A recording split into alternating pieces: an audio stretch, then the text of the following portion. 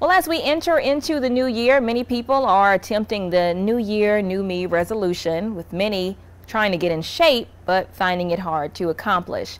News 19's Walker Lawson looks at why the healthy lifestyle is more mental than physical and how to make it happen. Making the decision for a healthier lifestyle at the beginning of the year is a resolution that many want to accomplish but find it hard to keep.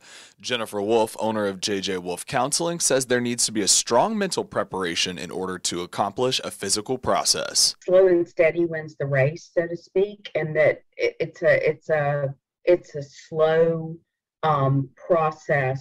Don't set unrealistic goals. When setting those goals, most people are typically only looking to lose weight or to get in better shape. But Wolf has noticed in her clients a healthier diet and lifestyle leads to a stronger mind. The mind is connected to the body, and the two cannot be treated separately.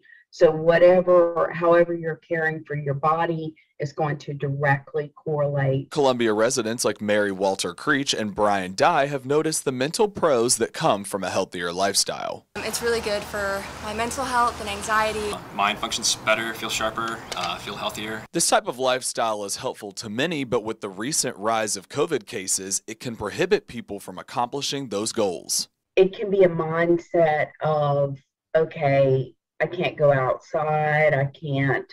So I'm just going to be sedentary. But people like Mark Austin have found a solution for that.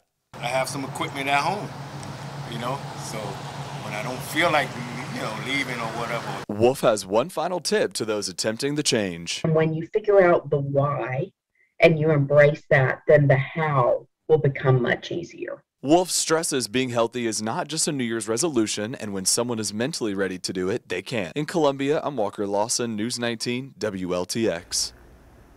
Well, for recommendations on what a healthy lifestyle is for you, you should always consult with your doctor first for tips and advice.